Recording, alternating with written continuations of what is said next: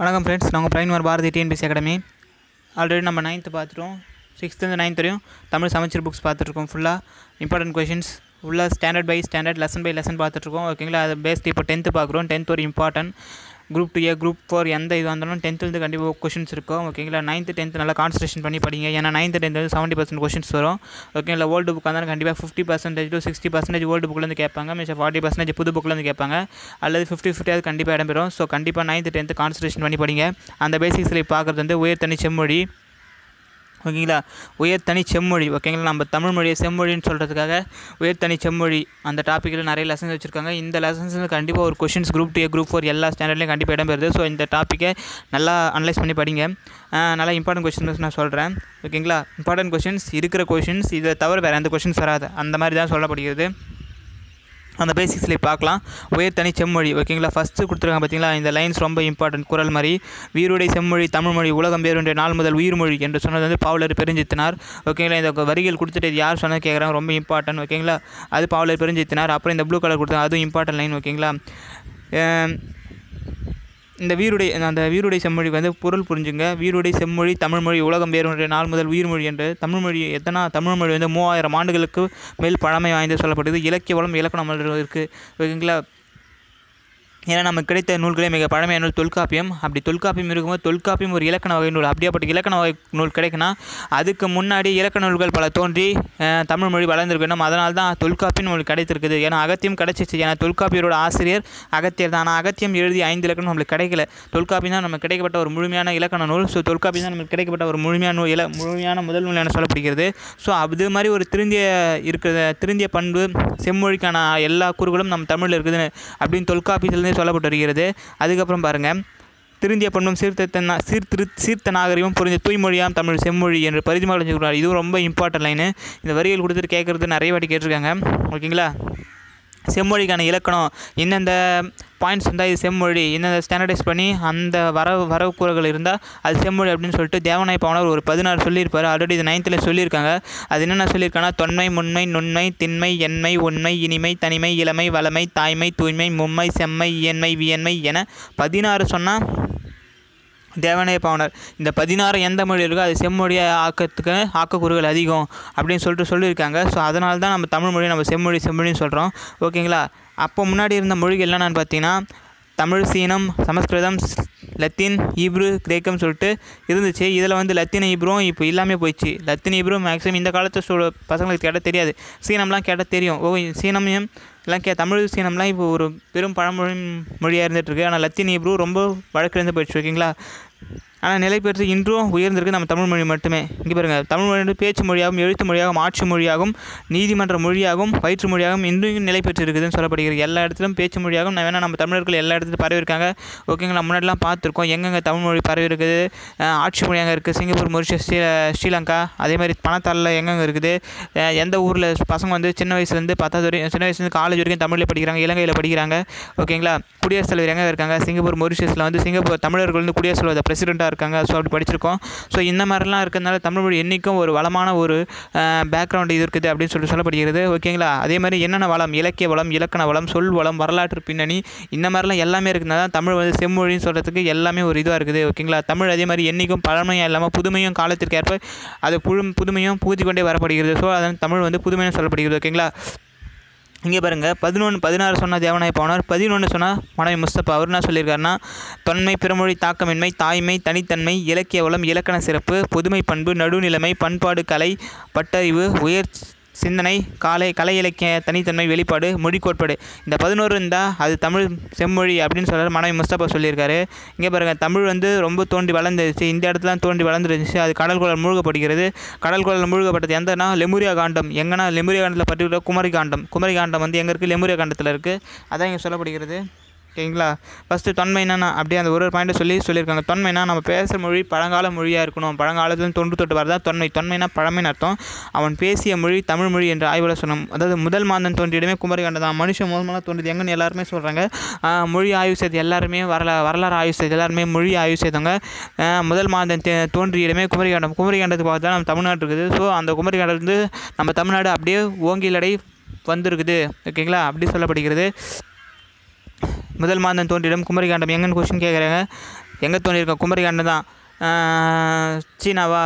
அமெரிக்காவெலாம் கேட்டால் தோன்றிடம் குமரிகாண்டம் தான் ஓகேங்களா அங்கே பேசப்படும் மொழி தமிழ் தான் ஓகேங்களா அங்கே அதனால தான் தமிழ் அங்கே தான் முதல் சங்கம். முதல் தமிழ் சங்கம் இரண்டாம் தமிழ் சங்கம் மூன்றாம் தமிழ் இந்த மூணுமே கடல்கோள் மூழ்கப்பட்டப்ப தான் நான்காம் தமிழ் சங்கம் மதுரையில் ஆரம்பிக்கப்பட்டது. ஓ இந்த மாதிரிலாம் நடந்திருக்கு ஓகேங்களா அதே மாதிரி கம்பர் இந்த வரி சொல்லியிருக்கேன் இதுவும் இம்பார்ட்டன்ட் என்றுமுளை தென் தமிழ் கம்பர் சொல்லப்பட்டிருக்குது ஓகேங்களா? என்றுமுளை தென் தமிழ் தென்தமிழ் தென் தமிழ் கம்பர் ஓகேங்களா? அப்புறம் பிறமொழி தாக்கமில்லை தமிழ் வந்து பிறமொழி இப்போ காலங்காலம் இதுவாக இதுவாக தமிழ் வந்து பிறமொழியில் நீ பிறமொழியை ப சம் அதர் லாங்குவேஜ் மற்ற மொழி நீங்கள் எடுத்திங்கன்னா வேறு மொழி கலப்பின்மை இல்லாமல் அதால் இயங்கவே முடியல ஓகேங்களா?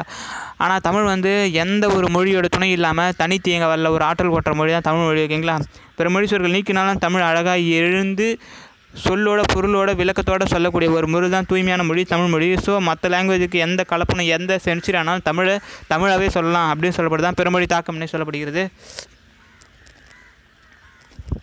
ஓகேங்களா? தாய்மை பாருங்கள் அப்புறம் தாய்மை பாவரம் தாய்மைன்றது கன்னடம் தெலுங்கு மலையாளம் துளுவம் இந்த எல்லா மொழிகளுக்கும் தாய்மொழி தமிழ்மொழி தான். இன்றைக்கி மற்ற ஸ்டேட்காரங்களாம் தமிழ் மொழியை பார்த்து ஏளான்னு நினைக்கிறாங்க தமிழ்னாவே திட்டுறாங்க அந்த மாதிரிலாம் இல்லாமல் தமிழ் தான் எல்லாத்துக்கும் ஒரு தாய்மொழியாகவும் தமிழ் மொழியாக ஆனால் அவங்கள மாதிரி மொழி பற்றி இல்லாதவங்க தான் அது மாதிரி வன்முறையில் தூண்டுவாங்க. ஆனால் தமிழ் மொழி என்றைக்குமே ஒரு தாய்மையாக தான் மற்ற மொழிகளுக்கு இருந்துக்குன்னு சொல்லப்படுகிறது ஓகேங்களா? கால்டுவல் அன்றைக்கி ஏற்கனவே சொல்லியிருக்கேன்.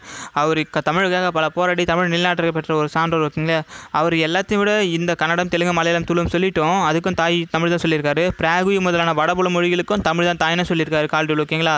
அதேமாதிரி உலக மொழிகளுக்கெல்லாம் தமிழ் தாய்மொழியாக திகழ்வது தமிழ் என்று சொல்லப்பட்டிருக்கு. தனித்தன்மை. தமிழ் தனியாகவும் இயங்கும் ஓகேங்களா? ஏன்னா தமிழில் தல தனிப்பட்ட சிறப்புகள் இருக்குது இயல் இசை நாடகம் என முப்பெரும் பிரிவுகளை கொண்டது ஓகேங்களா? இயல் இசை நாடகம். ஆனால் அப்போத்திலேருந்தே வாழ்ந்திருக்கு ஓகேங்களா? தமிழர் வந்து அகம் புறம் என பிரித்து வாழ்ந்தாங்க அகம் நான் உள்ள இல்வாழ்க்கை தான். புறம்ன்றது புற உணர்வு வீரம் கொடை அந்த மாதிரி தான். புற உணர்வு அந்த மாதிரி பிரித்து தமிழர் வாழ்ந்திருக்காங்க. அப்படிங்கிறத சொல்கிறது திருக்குறளில் மாந்தனினருக்கே வாழ்வில் நெறிமுறை கூறிய திருக்குறள் தான். அந்த திருக்குறள் தமிழ் தான் இதற்கு சொல்லப்படுகிறது. ஏன்னா திருக்குறள் கிறிஸ்துக்கு முப்பத்தாறாம் நூற்றாண்டில் ஏற்றப்பட்டது ஓகேங்களா? திருக்குறள் வந்து மாந்தன் இனத்திற்கே வாழ்வில் நெறிமுறை வகுத்தது ஒரு இம்பார்ட்டன்ட் மாந்தர் இனத்திற்கே அதாவது மக்களாகிய மக்களுக்காக இணக்கத்திற்கு இனத்திற்கே ஒரு நெறிமுறைகளை கூறும் ஒரே நூல் கேட்டால் திருக்குறள் தான் ஓகேங்களா?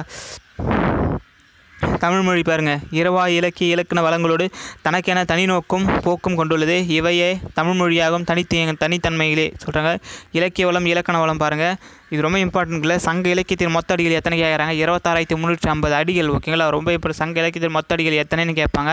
இருபத்தி ஆறாயிரத்தி முந்நூற்றி ஐம்பது அடிகளை கொண்டது சங்க இலக்கியம் ஓகேங்களா? அடிகள் ஓகேங்களா? அவ்வளோ பெரிய ஒரு இருபத்தாறாயிரம் அடிகளை கொண்டு தமிழ் சான்றோர்கள் இதுதான் ஒரு செம்மொழின்னு சொல்கிறதுக்கான ஏடுகள் வைக்கிறாங்க. பாரு எந்த மொழியும் அவ்வளோ அடிகள் கொண்ட பாடே இல்லை. தமிழ் மொழியில் இருபத்தாறாயிரம் அடிகள் வரை வைக்கிறாங்க ஓகேங்களா? ஏன்னா சிலப்பதிகார மணிமேகலை தொல்காப்பியம் அகத்தியம்னு பல முன் நன்னூல் என பல நன்னூல்களை அடக்கிவிட்டே போகிறாங்க ஸோ அந்த மாதிரி ஒரு மொழி கோட்பாடு கொண்டதான் நம்ம தமிழ் மொழி ஓகேங்களா? வேறு எம்எல்ஏ இல்லை இது இதை சொல்கிற யார் சொல்கிறேன்னா இதை சொன்னது வந்து கமல என்ற செக் நாட்டு மொழியில் பேரறிஞர் சொல்கிறார் இது இது ஒரு யாருடைய முடிவுனா கமல் சோவில் செக் நாட்டு மொழியில் பேரறிஞருடைய முடிவு இது ஓகேங்களா? இது ரொம்ப இம்பார்ட்டன்ட் விரிவாக உருட்டி இந்த இந்த பாயிண்ட் ஃபுல்லாக படிச்சிடுறேன். ஏன்னா இம்பார்ட்டன்ட் இப்படி தான் அறகுறையாக கேட்குறாங்க இப்போ நடந்த செப்டம்பர் ஒன்றாந்தேதி ஒரே ஒரு டூவில் டூ வேர்ட்ஸை கொடுத்துட்டு யார் சொன்னாங்க கேட்டாங்க. ஸோ ஃபுல்லாமே படிங்க இந்த பாயிண்டில் மொத்தமே. மொத்தமே உலக மொழி இலக உலக இலக்கியங்களுக்குள் முதன்மை பெற்றுள்ளவை சங்க இலக்கியங்கள். சங்க இலக்கியங்கள்லாம் எட்டு தொகை பத்து பாட்டு சொல்லப்படுகிறது. அது பதினெண் கீழ்கணக்கு பதினெண்டு மேற்கணக்கு உள்ள வருகிறது. எட்டு தொகை பத்து பாட்டில் ரொம்ப இம்பார்ட்டன்ட் படிச்சுங்க. ஏன்னா அது அகநூல் புறநூல் அகம்புறம் என கலந்த நூல்கள் சொல்லப்படுகிறது. அறநூல்களாக பதினெண்டு கீழ்கணக்கில் வருது. அந்த பதினெண்டு அறநூல்கள் வந்து ரொம்ப ஸ்பீடாக போகிறேன்னா ஓகே அறநூல்கள் வந்து வாழ்வியல் நெறிமுறைகள் எல்லாமே சொல்லும். மனுஷன் எப்படிலாம் வாழணும்? அற உணர்வோட வீர உணர்வோட பிறர் உதவுதல் ஒன்று உணவு உதவுதல் எண்ணத்தோட ஓகேங்களா? பிறரை மதித்து சான்றன்மை என பல அறக்கருத்துகளும் அவனுடைய உடல் அறக்கருத்துகளும் சொல்லப்பட்டிருக்கு தான் அறநூல்கள். ஸோ அந்த மாதிரி சொல்லப்பட்டிருக்குது. அதான் சொல்லப்பட்டிருக்கு. என்பது இங்கே பாருங்கள் சங்க இலக்கியங்கள் இவற்றின் மொத்தடியில் அடிகள் இருபத்தாறாயிரத்து ஐம்பது. அக்காலத்தில் இவ்வளவிற்கு இவ்வளவு இவ்வளவருக்கு விரிவாக உருவாக்கப்பட்ட இலக்கியங்கள் உல உலகில் வேறு எம்மொழியிலும் இல்லை. என்பது உலக இலக்கியங்களை ஆய்ந்த கமல் சோழபில் என்ற செக் நாட்டு மொழியில் பேரறிஞர் முடிவு. இந்த மாதிரி ஒரு இருபத்தாறாயிரத்தி முந்நூற்றி ஐம்பது அடிகளை கொண்டு வேறு எம்மொழியிலும் இல்லை அப்படின்னு யார் சொன்னாங்கன்னா கமல் சோழபில் ஓகேங்களா? செகண்ட் கமல் சோழபில் செக் நாட்டு குடியரசு அவர் அவருடைய பேர் சொன்னது கமல் சோழபில். அதான் இம்பார்ட்டன்ட் படிச்சுக்கோங்க. அப்புறம் மார்க்ஸ் முல்லர் சொல்லியிருக்காரு. மார்க்ஸ் முல்லர் என்னும் மொழி நூலறிஞர் தமிழே மிகவும் பண்பட்ட மொழி என்றும் அது தனக்கே உரிய இலக்கிய செல்வங்களை பெற்றிருக்கும் மொழி என்றும் பாராட்டியிருக்கின்றார். உலக இலக்கியங்களை எவற்றிற்கும் இல்லாத தனிச்சிறப்பு சங்க இலக்கியங்களுக்கு உண்டாம். அவை தொன்ம கருத்துகள் அடிப்படையில் எழுதாமல் மக்கள் வாழ்வில் நெறிமுறைகளை வெளிப்படுத்தும். அதனால் சங்க இலக்கியங்கள் மக்கள் இலக்கியம் என அழைக்கப்படுகிறது. ஆமாம் இது ஒரு இம்பார்ட்டன்ட் கொஸ்டின் மக்கள் இலக்கியம் என அழைக்கப்படுதுன்னு கேட்பாங்க. சங்க இலக்கியமாக பதினெட்டு கீழ்கணக்கு பதினேழு சங்க இலக்கியங்கள் மக்கள் இலக்கியம் என அழைக்கப்படுகிறது. தமிழ்மொழியின் இலக்கணம் அமைப்பானது படிக்க படிக்க விருப்பத்தை உண்டாக்கும். தமிழை படிச்சுனே இருந்தால் விருப்பத்தை உண்டாக்கும். சில கேலட் ஓகேங்களா கேலட் கிட்கேட் சாப்பிட்டா நம்மளுக்கு விருப்பமாக இருக்கும்போது தமிழ் மொழியை படிக்க படிக்க விருப்பத்தை உண்டாக்கும் கேலட் ஓகேங்களா நமக்கு கிடைத்த இலக்கணங்கள் சொன்ன மாதிரி தொல்காப்பியம் தான் பழசு. இதனது எழுத்து சொல் பொருள் மூன்றுக்குமே சொல்லுது. ஆனால் அகத்தியம் எழுத்து சொல் பொருள் யாப்பன் ஐந்துக்கும் இலக்கணம் கூறியிருக்கு. ஆனால் நான் நூலோட அகத்தியம் என்றது ஃபுல்லாக நம்மளுக்கு கிடைக்கல ஓகேங்களா ஆனால் ஆனால் தொல்காப்பியம் முழுமையாக கிடையாது. அதனால் தொல்காப்பியத்தை பேஸ் பண்ணி நம்ம வந்து எதையும் சான்றோட சொல்லப்படுகிறது அகத்தியம் ஐந்து இலக்கணம் சொல்லியிருக்குது ஓகேங்களா அகத்தியர் எழுதியிருக்காரு. ஆனால் அந்த மாதிரி சொன்னதா முன்னாடி சொன்னதான் தொல்காப்பியம் சொல்லி தோணுனா அதுக்கு ஆயிரம் வருஷம் முன்னாடி இலக்கண இலக்கியங்கள் செல்லுமா இருந்திருக்கும் அதனால் தொல்காப்பியர்கள் எழுத முடிஞ்சிருக்கும். ஸோ அதான் இங்கே சொல்லப்பட்டிருக்குது. புதுமை பண்பு தமிழர் வந்து தனக்குன்னு எதையும் சொல்ல தீதும் நன்றும் பிறர் தரவாரா என்ற அறி என்ற அவருடைய விளைவாக மற்றவங்களும் நல்லது செய்யணும் அப்படின்னு சொல்லியிருக்காரு. இங்கே பாருங்க செம்புல பயல் நீர் போல என்பது குறுந்தொகையோட வரி. அந்த மாதிரி புதுமையாக அறங்கருதுகளை கூறி வாழ்ந்தாங்கன்னு சொல்லப்பட்டு சொல்லப்படுது. இலக்கியங்கள்லாம் புதுமை அறக்கிறதுக்கு சொல்லப்படுகிறது. அதேமாதிரி நடுநிலைமை இனம் மொழி மதம் எதையும் கடந்தது இயற்கையோட இயந்தவை தமிழ். எதுக்கு அதான் சொல்லப்படுகிறது? உலக கருத்துக்கள் அதில் இருக்குது மக்கள் சிறப்புடன் வாழ இது தோன்றியிருக்கும். நடுநிலைமை சொல்லப்படுகிறது. பண்பாடு கலை பட்டறி வெளிப்பாடு. நம்மளுடைய பண்பாடு கலை பட்டறிவுலாம் நம்ம சங்கங்களுக்கு சொல்லப்பட்டிருக்குது. பகுத்துண்டு பல்லுயிர் ஓம்புதல். ஓகேங்களா? யான் பெற்ற இன்பம் பெருகை வையகம். பிறன்மனை நோக்கா பேரன்மை. முதலை பண்பாட்டு நெறிமுறைகள் வெளிப்படுத்துகின்றன ஓகேங்களா? அது. அப்புறம் உயர் சிந்தனை பாருங்கள் தமிழர் எப்பவுமே உயர் சிந்தனை தான் வாழ்வான். யாதும் ஊரே யாவரும் கேளீர் யாவரும் கேளீர் என்பது நண்பர். நான் எங்கே போனாலும் அந்த ஊர் என் ஊர் தான். அங்கே இருக்கவங்க என் நண்பர்கள் மாதிரி தான் சொல்லி சொல்லப்படுகிறது. இந்த வரிகள் தான் அப்துல் கலாம் அவர்கள் வெளிநாட்டில் இருக்கும்போது வெளிநாட்டு அந்த பிரசிடென்ட் அவையில் பேசுவார் யாதும் ஊரே யாவரும் கேளீர். கணியின் பூங்கொன்றர் சொன்ன வரிகள் அவர் எடுத்து சொல்லியிருப்பார். ஓகேங்களா? அது எந்த நூலில் இருக்குன்னா புறநானூறு. பிறப்பொக்கம் எல்லா உயிருக்கும் என்பது திருக்குறளில் ஓகேங்களா? அது சொல்லப்பட்டது. அது என்ன சொல்லியிருக்காங்கன்னா உலகத்துறை எடுத்துரைக்கிறது அது மக்கட் பண்பு இல்லாத ஒரு மரம். மக்கள் வந்து மக்கட் பண்பு இது அறம் அறம் வீரம் பண்பு நாணம் அந்த மாதிரி எல்லா பண்பும் பெற்றிருக்கோம் அந்த மாதிரி எந்த பண்பும் இல்லாமல் இருக்கிறவங்க பிறந்தாலும் அவங்க மரத்துக்கு ஒப்பாக தான் கருதப்படுகிறார்கள். அதை தான் இங்கே திருக்கு திருவள்ளுவர் சொல்லியிருக்காரு ஓகேங்களா? இதை ஒரு பெரிய சிந்தனையாக திருவள்ளுவர் தமிழங்க அதான் உயிரை சிந்தனைகள் தமிழருக்கு இருக்குது. அது எப்பவுமே இருக்குன்னு சொல்லி சொல்லியிருக்காங்க. கலை இலக்கியம் தனித்தன்மை வந்து த தம் தமிழ் சான்றோர் பாருங்கள் இயலிசை நாடகம் இயலிசை நாடகம் என வளமடை செய்தினர்களுக்கு ஓகேங்களா அரசியல் பிழைத்தோருக்கு அறம் கூட்டுறகம் சிலப்பதிகாரம். அதாவது குடிமக்கள் காப்பியம்ன்றது சிலப்பதிகாரம் ஓகேங்களா அந்த மாதிரி அறநெறி போன்ற நாடகங்கள்லாம் நாடகங்கள்லாம் எடுத்து உரைச்சாங்க தமிழில். ஏன்னா சிலப்பதிகாரம் கிறிஸ்துக்கு பின் இரண்டாம் நூற்றாண்டில் தோற்றப்பட்டது. ஸோ அந்த மாதிரி ஒரு நாடகம் ஒரு ஒரு ஒரு அரசன் எப்படி ஆடணும் அவன் தப்பாக நீதி சொன்னதுனால அங்கே கண்ணகியோடைய கஷ்டமாக இருக்குது ஸோ கோலம் கொள்ளையிடப்படுகிறான். ஸோ அந்த மாதிரி கஷ்டம் இருக்கக்கூடாதுன்னு பிறருக்கு அற உணர்வு ஊட்டுறதுக்காக இந்த மாதிரி நாடகங்கள்லாம் ஈழசை நாடகங்கள்லாம் தமிழ் கலைக்களஞ்சியத்தில் மேன்மேலும் ஊக்குவித்தாங்க. ஓகேங்களா? மொழி கோட்பாடு ஓகேங்களா? இந்த இதில் படிச்சுங்க. தொல்காப்பியம் கூறும் எழுத்து பிறப்பு முறையில் மொழி நூலறிவை விரி வியப்பில் ஆழ்த்துகின்றன. இந்திய மொழியியல் வல்லுநர்கள் பேணி பின்பற்றத்தக்க வழிமுறைகளை தொல்காப்பியம் கூறுகின்றது என்பவர் முனைவர் எமினோ. அப்படியே கேட்குற கொஷின்ஸ் இதெல்லாம். ஸோ இந்த பேராஃபில் இந்த வரையும் ஃபுல்லாக படிச்சுங்க. முனைவர் எமினோ யாரு யாருடைய வரிகள் யாருடைய பாடல்கள் எந்த ஆத்தருடைய பாடல்கள் எந்த ஆசிரியருடைய பாடல்கள் இன்றைய கவிஞர்கள்லாம் கேட்டு வழங்கணும்னு சொல்கிறாங்க தொல்காப்பியர் சொல்கிறார் ஓகேங்களா? ஒரு மொழி வந்து முப்பத்தி மூணு ஒளியணுக்கள் பெற்றிருந்தாவே போதுன்றாங்க. ஆனால் தமிழ் ஐநூறு ஒளியணுக்கள் பெற்றிருக்கலாம். பாருங்கள் ரெக்கார்டை வெறும் தேர்ட்டி த்ரீ இருந்தால் போதுன்றாங்க. ஆனால் தமிழ் ஐநூறு ஒளியணுக்களை பெற்று சொல்கிறாங்க ஓகேங்களா? இவ்வாறு தமிழோட இதை சொல்லிட்டு முனைவர் முஸ்த மனை சொல்கிறாரு இந்த இவ்வாறு தமிழ் வந்து ஆயிரத்தி தொள்ளாயிரத்தி ஒன்றில் ஆரம்பிக்கிறாங்க. இப்படியாப்பட்ட எல்லா சிறப்பும் எல்லா பேரும் புகழும் கொண்ட எல்லா ஆதாரங்களும் கொண்ட தமிழை செம்மொழியாக சொல்லி மது செம்மொழியாக சொல்லி மத்திய அரசாங்கக்கிட்ட ஆயிரத்தி தொள்ளாயிரத்தி ஒன்றாம் ஆண்டு தொடங்குவாங்க. தமிழை செம்மொழியாக்குங்க எல்லாரும் ஏதோ பண்ணுவாங்க. கடைசியாக ரெண்டாயிரத்தி நாலாம் ஆண்டு கலைஞர் பீரியடில் தான் ஆக்குவாங்க. எல்லாருக்கும் தெரிஞ்சிருக்கும். ஓகேங்களா? நடுவு ரெண்டாயிரத்தி நாலாம் ஆண்டு அக்டோபரை தமிழை செம்மொழியாக ஏற்பளித்தது ஓகேங்களா?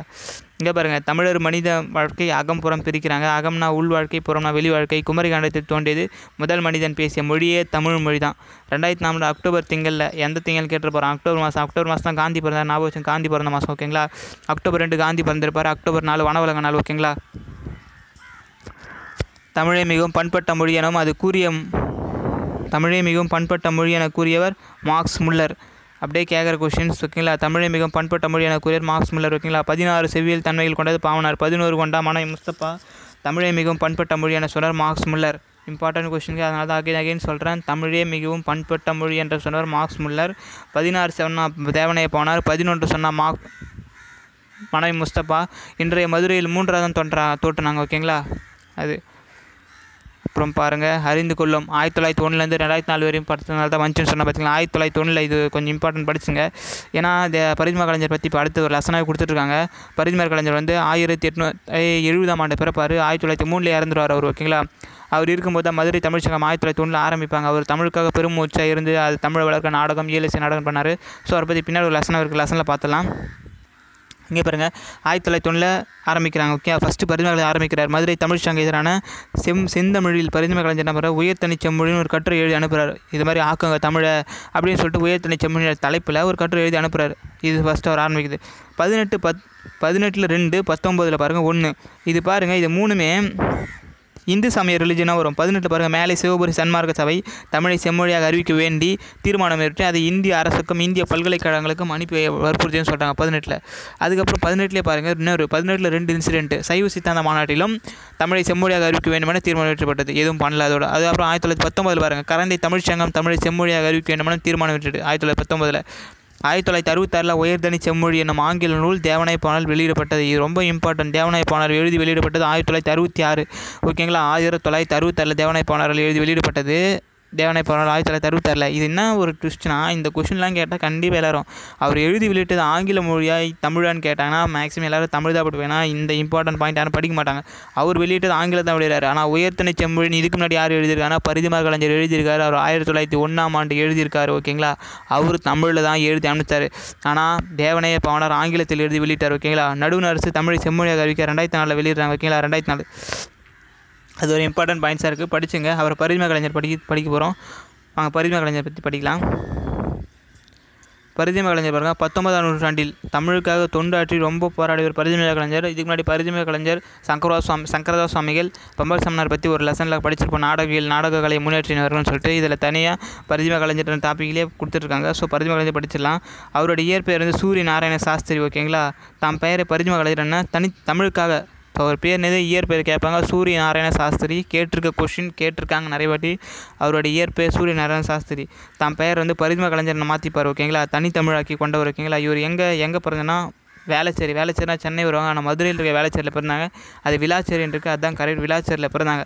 அவர் பிறந்தது ஆயிரத்தி எட்நூற்றி எழுபது. அதுதான் ஒரு இம்பார்ட்டன்ட் பாயிண்ட்ஸ் ஓகே ரொம்ப படிச்சுருக்காங்க அவர் வந்து எங்கே படித்தார்னா சென்னையில் இருக்க கிறிஸ்டின் கல்லூரியில் படிப்பார் ஓகேங்களா தமிழ் வந்து ரொம்ப ஆர்வத்தோட முழுகி தமிழை கற்றுக்கிட்டார் ஓகேங்களா? அவருக்கு வந்து சென்னை ஆக்ஸ் சாரி லண்டனில் இருக்க ஆக்ஸ்போர்ட்டுக்கு பேராசிரியர் பண்ணி செய்யணும்னு சொல்லிட்டு வந்துச்சு. ஆனால் அதை கூட அவர் எழுத்துல இங்கே வந்து தமிழை மேன்மேலும் வளர்க்கணும்னு சொல்லிட்டு அவர் இங்கே இருந்துட்டார். அவர் இவர் இவர்கிட்ட வந்து பல மாணவர்கள் வந்து டவுட் கேட்டு பல மாணவர்கள் இவர்கிட்ட தமிழை கற்றுக்கினாங்க அப்படி இவர்கிட்ட வந்து கற்றுக்கிற மாணவர்கள் இவர் என்ன பண்ணுவார்? அன்போட இயற்றமிழ் மாணவர் என்று அழைத்தாங்களா? என்னன்னு சொல்லிட்டு இயற்றமிழ் மாணவர் என அன்போடு இவர் அழைத்தார் ஓகேங்களா? இவர் வந்து தமிழ் இலக்கண இலக்கியங்கள்லாம் சொல்லும் போது அழகாக சுவையோட மற்ற மற மற்றவர்களுக்கு புரியும் வண்ணத்தோடு சொல்லுவார் ஓகேங்களா அந்த மாதிரி ஒரு இப்போ மதுரை தமிழ்ச்சங்கம் நான்காம் தமிழ்ச்சங்கம் கூட்டுறாங்க. இது வந்து மதுரை சேது பாஸ்கர சேதுபதி அவர் தான் கூட்டார் அவர் என்ன பண்ணார் மதுரை இப்போ ஒரு வாட்டி வந்து ஒரு ஒரு ஒரு பட்டிமன்றத்துக்கு தலைமையேற்று வர சொல்லியிருப்பாங்க மதுரை பாஸ்கர சேதுபதியை. அவர் ஒரு மதுரைக்கு வந்து என்ன பண்ணார் கம்பராமாயணமும் திருக்குறளும் அவர் எந்த ஒரு பொதுக்கூட்டத்தை போகும்போது அது ஒரு வாட்டி படிச்சுட்டு ஒரு வாட்டி படிச்சுட்டு அந்த கூட்டத்தில் உரையாடுறது வழக்கம். அங்கே போய் கேட்டோடனே அந்த டைமில் இல்லை. ஸோ அந்த டைமில் அவருக்கு தோன்றது தான். இந்த இடத்துல மதுரை நான்காம் தமிழ்ச்சங்கம் தோற்கணும்னு சொல்லிட்டு அவர் கஷ்டப்பட்டு தோற்றுவிப்பார். ஸோ இந்த லைன் இம்பார்ட்டன்ட் மதுரை தமிழ்ச்சங்கம் யார் யார் தோற்றுவித்தாங்க எப்போ தோற்றுவித்தாங்க யார் யார் கூட அந்த உதவி பண்ணாங்க யார் தலைமை தாங்கினாங்க பரிதிம கலைஞர் ஒவ்வொரு செயலும் தமிழ் வளர்ச்சியை நோக்கி அமைந்திருந்தது. ஓகே மதுரை நான்காம் மதுரையில் நான்காம் தமிழ் சங்கம் நிறுவ முயன்றவர்கள் இவரும் ஒருவர். தலைமையார் பாஸ்கர சேதுபதி. பண்டித் பாண்டிதுரை மேற்பார்வையில். மேற்பார்வையில் மேற்பார்வை வந்து பாண்டித்துறை மேற்பார்வையில் பரிதிம கலைஞர் உவே சாமிநாதர் ராகவனர். இவங்க மூணு பேர் தான் இருக்காங்க. நல்லா பார்த்துங்க. நாலு பேர் கொடுத்துட்டு யார் இதில் நான்காம் தமிழ் சங்கம் உருவாக்க முன் நின்றவர் அல்லாதவர்னு கேட்பாங்க. பரிதிமா கலைஞர் உவே சாமிநாதர் ராகவனர் ஆகிய பேராசிரியர்கள் துணையுடன் மதுரை தமிழ் சங்கம் ராகவனர் வராரு. ராகவனர் பரிதிமா கலைஞர் உவே சாமிநாதர் ராகவனர் ஆகிய பேராசிரியர்கள் துணையுடன் மதுரை தமிழ் சங்கம் நிறுவப்பட்டது. ஓகேங்களா? தமிழ் புலியும் தனி ஓகேங்களா? தமிழ் புலம் இங்கே பாருங்கள் பரிதிமா கலைஞர் ஓகேங்களா? தமிழ் புலவர் வந்து பரிதிம கலைஞருடைய தமிழ் புலமையும் அவருடைய தமிழ் படம் கவியும் திறமையும் கண்டு ஓகேங்களா? அவருக்கு திராவிட சாஸ்திரி என்ற பட்டம் வழங்கப்பட்டது ஓகேங்களா? திராவிட சாஸ்திரி யாருன்னு கேட்டிருக்காங்க? பரிதிம கலைஞர். ஏன் குத்தனா? அவருடைய புலமை தமிழ் படம் புலமையும் தமிழ் அறிவும் தமிழ் கவிதை அந்த செய்யுள் நடை வச்சு செம்மொழி நடை வச்சு அவர் வந்து திராவிட சாஸ்திரின்னு கொடுக்கப்பட்டது. திராவிட சாஸ்திரி யார் கொடுக்கப்பட்டது? யாருக்கு கொடுக்கப்பட்டது பரிதிம கலைஞருக்கு? யாரால் கொடுக்கப்பட்டது? சிவை தாமோதர பிள்ளையால் கொடுக்க கொடுக்கப்பட்டது. அதான் இம்பார்ட்டன்ட் ஓகேங்களா? அவரோட இயற்பெயர் நான் ஃபஸ்ட்டே சொல்லியிருக்கேன். சூரிய நாராயண சாஸ்திரி சொல்லியிருக்கேன். அந்த சூரிய நாராயண சாஸ்திரின்றது அவர் பதிமூணு வச்சிருப்பாரு. அது எந்த நூல் போது அவருக்கு டக்குன்னு மாறும். அவர் வந்து சின்ன வயசில் மாற்றிக்க முடியாது ஒரு மெச்சூர் வயசில் மாற்றிப்பார் எந்த என்ன நூல் அப்போ எழுதும்போது அது தான் பெயர் பரிதிம கலைஞர்னு மாற்றிக்கணும்னு சொல்லணுமா தனி பாசுர தொகை எழுதும்போது தாம் பெற்றோர்கிட்ட சூரிய நாராயண சாஸ்திரி என்ற பெயரை தமிழுக்கு மாற்றி பரிதிம கலைஞர் வச்சுப்பார். ஓகேங்களா? இந்த தனி த தனி பாசுர தொகை சொல்லுவாங்க அதை ஜிபி ஆங்கிலத்தில் மொழிபெயர்த்திருக்காரு. ஓகேங்களா? அது ஒரு கொஷின் இங்கே என்ன பண்ணுவாங்கன்னா அவருக்கு அவர் அவர் கிளாஸ் எடுத்துகிட்டு இருப்பார் ஓகேங்களா அப்போ வந்து இங்கிலீஷ் கிராமரில் வந்து டென்னிஸ்னு சொல்லிட்டு ஒரு அவங்க இங்கிலீஷ் கிராமர் சார் எடுத்துகிட்டு அப்போ அவர் சொல்லியிருப்பார் இந்த மாதிரி வந்து ஆர்த்தர் நிறுதுன்னு சொல்லிட்டு ஒரு பாடல் ஏற்றிருப்பார் அதில் வந்து படகு வந்து அசைகிறத வந்து எப்படி சொல்கிறது படகை நகர்த்தம் துடுப்புகளுக்கு உண்மையாக படகு ஆமாம் படகு நகர்த்தத்தை அந்த காலத்தில் வந்து துடுப்பு யூஸ் பண்ணுவாங்க பார்த்தீங்களா ஆங்கிலேயர்கள் தான் படகை சின்ன சின்ன படகு வச்சு ஸ்டைல்ஸ் எல்லாம் கண்டுபிடிச்சது. அதை வந்து துடுப்பு போட்டு அசைவாங்க. இந்த மாதிரி ஒரு இது வந்து பறவைகள் பறப்பதற்கு இணக்கமாக ஆர்த்தரின் இறுதியில் என்ற நூலில் டென்னிசன் சொல்லியிருப்பார். இங்கே பாருங்கள் நூறாட்டி அழகாக சொல்கிறேன் வரிஞ்சிமை கலைஞர் கிளாஸ் ஒன்று இங்கிலீஷ் கிராமர் சார் வந்து இங்கிலீஷ் எடுத்துகிட்டு இருக்காரு ஓகேங்களா அவர் சொல்கிறாரு படகை வந்து துடு போட்டு நம்ம நவுத்துறோம் பார்த்திங்களா அதுக்கும் பறவைகள் பறப்பதற்கும் ஊமையாக இருக்குது அப்படின்னு சொல்லிட்டு டென்னிஸ்ன்றது எடுப்பார் ஆர்த்தர் இறுதி டென்னிசன் சாரி டென்னிசன் இயற்றிய நூல் ஆர்த்தர் நிறுதி இந்த நூல் இப்படி கொடுத்துருக்காரு எங்கள் டென்னிசன் பாரு எவ்வளோ சிறந்தவரா? இந்த மாதிரி ஒரு ஒரு எடுத்துக்காட்டு உங்கள் தமிழில் இருக்கா அப்படின்னு உடனே உடனே தமிழ் எதையும் யோசிக்காமல் பருத்தி இருந்து இதுவாது அது இப்போ தோன்றியது. ஆனால் கம்பராமாயணத்தில் விடுநனி கடிது என்ற இருக்குது ஓகேங்களா? அது அப்போவே எங்கள் ஊமை ஊர் இந்த மாதிரி இரு பாடியுள்ளார். கம்பர் அப்பே பாடியிருக்காரு அப்படின்னு சொல்லிட்டு அந்த பாட்டை ஃபுல்லாக பாடி அதுக்கு பொருள் உணர்த்த மாதிரி பாடியிருக்காரு. அதை கேட்ட வந்து டென்னிசன் அதை கேட்ட வந்து அவர் ஆசிரியர் வந்து வில்லியம் மில்லர். அவர் அப்படியே வாயடைச்சு போய் சொன்னது கரெக்ட் அப்படின்னு சொல்லிட்டு அமைதியாக இருந்துருவார் ஓகேங்களா? அடுத்தது பாருங்கள் இது ஒரு இம்பார்ட்டன்ட் லைனு இம்பார்ட்டன்ட் பேராஃபு அப்படியே முன்கதி சுருக்கமாக சொல்கிறேன் தமிழின் சிறப்பை உணர்த்தல். தமிழின் சிறப்பை உணர்த்தல்னால் என்னென்னா எல்லோரும் என்ன பண்ணுவாங்க? தமிழ் மொழியும் வடமொழியும் வந்து சேர்த்து சேர்த்து வைக்கும்போது அது ரொம்ப அழகாக இருக்குது தமிழ் மொழி வந்து தமிழ் மொழியும் வடமொழியும் சேர்க்கும்போது முத்தும் பவளம் மர அந்த அதை கலந்த ஒரு மாலையாக போட்டுனா பார்க்கறதுக்கு அழகாக இருக்கும். ஸோ அது மாதிரி ஜொலிக்கும் அப்படின்னு நினச்சி என்ன பண்ணுறாங்க இந்த வர காலத்துலலாம் தமிழ் மொழி வடமொழியும் கலந்து கலந்து பேச ஒரு ஸ்டைலாக வச்சுக்கிறாங்க. ஆனால் அது எப்படியா? கழுத்தில் வந்து காஞ்ச மிளகாவை கா காஞ்ச மிளகா வந்து கட்டிக்கிறது சமம். அது போக போக நெஞ்சில் பட்டு பட்டு எரியும் பார்த்தீங்களா அந்த மாதிரி தான் தமிழையும் வடமொழியும் கலப்பதற்கு சமம். நீங்கள் வந்து தமிழ் வடமொழியும் கலப்புறேன்னு சொல்லிட்டு இந்த மாதிரி பண்ணுறீங்க இது வந்து தமிழ் தாய்க்கு வந்து உடம்பிடை எரிச்சலை உண்டாக்கும். அந்த மாதிரி செய்யலை செய்யாதீங்கன்னு வந்து அவர் அழகாக சொல்லியிருப்பார். அதான் இதில் சொல்லியிருப்பார். தமிழ் தொண்டு அவர் பண்ணியிருந்து பாருங்கள் பல்கலைக்கழகத்தில் இவர் ஒர்க் பண்ண இவர் சேர்ந்த சென்னை ஸ்கூலில் காலேஜில் அப்போ வந்து தமிழ் எடுத்துடணும் அப்படின்னு சொல்லிட்டு சொன்னாங்க. ஆனால் இவர் என்ன பண்ணார்? உறுதியாக எதிர்த்து ஆயிரத்தி தொள்ளாயிரத்தி ரெண்டில் எடுத்துக்காரு எதிர்த்து தமிழ் எது எடு எடுக்கக்கூடாது அப்படின்னு சொல்லிட்டு சொன்னால் தான் பல்கலைக்கழகம் தமிழ் எடுக்க மாட்டுச்சு இல்லைன்னா தமிழ் எப்போ எடுத்துகிட்டு இருப்பாங்க ஓகேங்களா அதுக்கப்புறம் இவர் என்ன பண்ணார்? நிறைய நாடகங்கள் போட்டு தமிழ் வளர்க்கணும் அப்படின்னு சொல்லிட்டு ரூபாவதி காலாவதி. இது எப்படி நான் போச்சுன்னா இப்போ இவர் பேர் வந்து பரிதிமார் கலைஞர். பரிதி ரூபாவதி காலாவதி. ரூபா காலம் ஆயிடுச்சுல கால காலாவதி ஆயிடுச்சு பார்த்தீங்களா ரூபா நோட்லாம் காலாவதி டேட் எக்ஸ்பைரி ஆச்சு ஆயிரம் நோட்டு ஐநூறு நோட்டு அந்த மாதிரி வந்து ரூபாவதி காலாவதி பண்ணிட்டாங்க. யார் பதுமை கலைஞர் ஓகேங்களா இவர் வந்து சித்திரகவி எனும் நூலை எழுதி யாருன்னு கேட்பாங்க? கேட்டதில்லை இந்த கொஷின் சார் கேட்டால் ரொம்ப இம்பார்ட்டன்ட் சித்திரகவி என்ற நூலை எழுதியவர் பரிதிம கலைஞர் எழுதியிருக்காரு. சித்திரகவி என்ற நூலை எழுதினவர் பரிதிம கலைஞர் ஓகேங்களா குமரகுருவர் நீதிநெறி விளக்கம் எழுதியிருக்காரு. ஐம்பத்தோரு பாடல் இவர் உரை எழுதியிருக்காரு ஓகேங்களா நீதிநெறி விளக்கம். என்ற பாடல் எழுதினது குமரகுருபரர் அது எழுதி அதுக்கு உரை எழுதியிருக்காரு. சொற்பொருள் மாதிரி உரை எழுதியிருக்காரு. எத்தனை பாடல் கேட்பாங்க? ஐம்பத்தோரு பாடல்கள். அதே மாதிரி மூசி பூர்ணலிங்கம் தொடங்கி வைத்த ஞானபோதிந்திர இதுக்கு நடந்த குரூப் ஃபோர் கொஸ்டின் ஓகேங்களா மூசி பூர்ணலிங்கம் தான் தொடங்கி வைப்பார் ஞானபோதிந்திர ஆனால் அவரால் நடத்த முடியல. பரிந்துரைகளை அதை எடுத்து நடத்துவார் ஓகேங்களா? அது. அப்புறம் செந்தமிழ் இதழில் உயர்த்தலை செம்மொழி. அங்கே சொன்ன பார்த்தீங்கன்னா ஆயிரத்தி தொள்ளாயிரத்தி ஒன்றாம் ஆண்டு அவர் எழுதி வெளியிட்டார்னு இவர் வெளியிடும்போது தமிழ் லாங்குவேஜ் வெளியிட்டார். தேவனை பாணர் ஆயிரத்தி தொள்ளாயிரத்தி அறுபத்தாறாம் ஆண்டு எழுதி வெளியிடும் போது அவர் வந்து இங்கிலீஷில் எழுதி வெளியிடுவார் ஓகேங்க செந்தமிழ் இதெல்லாம் உயர்த்தலை செம்மொழி கட்டுரை எழுதியுள்ளார்.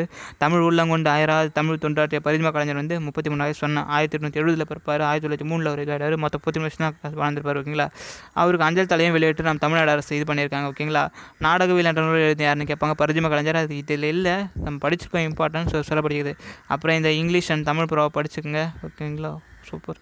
அதுவும் இம்பார்ட்டன்ட் ஓகேங்களா? சரி அது அடுத்த அடுத்த வீடியோவில் பார்க்கலாம் டைம் ஆயிடுச்சு இதில். இது இது படிச்சுங்க ரொம்ப இம்பார்ட்டன்ட் ஆஸ்தட்டிக் பயாலஜி கிளாசிக் எல்லாமே green rooms instincts order and ஸ்நாக்ஸ்னா சுற்றணும் படிச்சுங்க ஃப்ரெண்ட்ஸ் நம்ம அடுத்த இது அடுத்து பார்க்கலாம். நன்றி friends Bharathi TNPS academy like பண்ணுங்கள் style Bharathi TNPSC academy. Subscribe பண்ணுங்கள்